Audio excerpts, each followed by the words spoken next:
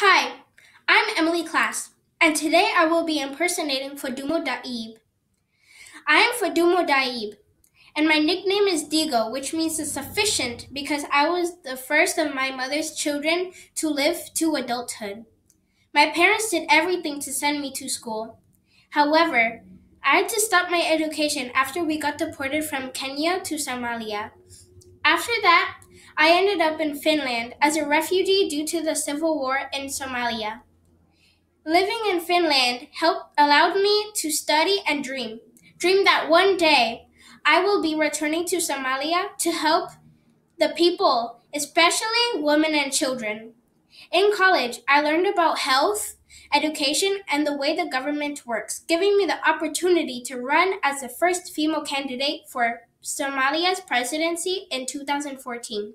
There were three promises I intended to deliver for the people of Somalia.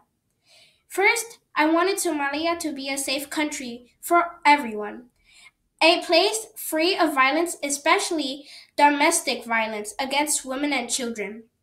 Second, I promised to provide free education for all. My third promise was to protect the animals that are about to be extinct and to stop using them in experiments. Thank you.